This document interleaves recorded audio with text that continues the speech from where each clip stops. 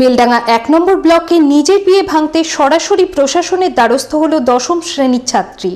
বেলডাঙ্গা এক নম্বর ব্লকের বিডিও বিরূপাক্ষ মিত্র রীতিমতো অভিভাবককে দিয়ে লিখিয়ে নিলেন মুচলেখা। আঠেরো বছর না হলে বিয়ে দেবেন না বলে লিখিত পত্র দেন বাবা। কে কি বলেছেন দেখব। ক্লাস টেনের একটি ছাত্রী সরাসরি আমার কাছে আসে, তার বক্তব্য যে তার বয়স মোটে পনেরো বছর, কিন্তু তার বিয়ে ঠিক হয়ে গেছে। বাড়ির মা বাবা তার বিয়ে ঠিক করে দিয়েছে, সে বিয়ে করতে চায় না। সে পড়তে চায়, নিজের পায়ে দাঁড়াতে চায় এবং তার সংসারের জন্য রোজগার করতে চায়। তো এটি একটি অভূতপূর্ব ঘটনা নিঃসন্দেহে। আমাদের প্রচার অভিযান ভালো চলেছে বলে মেয়েটি সরাসরি আমাদের কাছে এসেছে। তো আমরা তার বাড়ির লোকজনকে ডেকে তাদের কাউন্সিলিং করি, আইন কি বলছে না বলছে সেই ব্যাপারে তার মা বাবাকে পরিষ্কার বোঝানো হয়। তারা আমাদের কাছে মুচলেখা দিয়ে গেছেন যে মেয়ের আঠেরো বছর বয়স না হলে বিয়ে দেবেন না এবং সর্বোপরি ব্লক থেকে এই সাহসিকতার জন্য আমরা মেয়েটিকে একটি বিশেষ সম্মানে সম্মানিত করব বলে ভাবছি।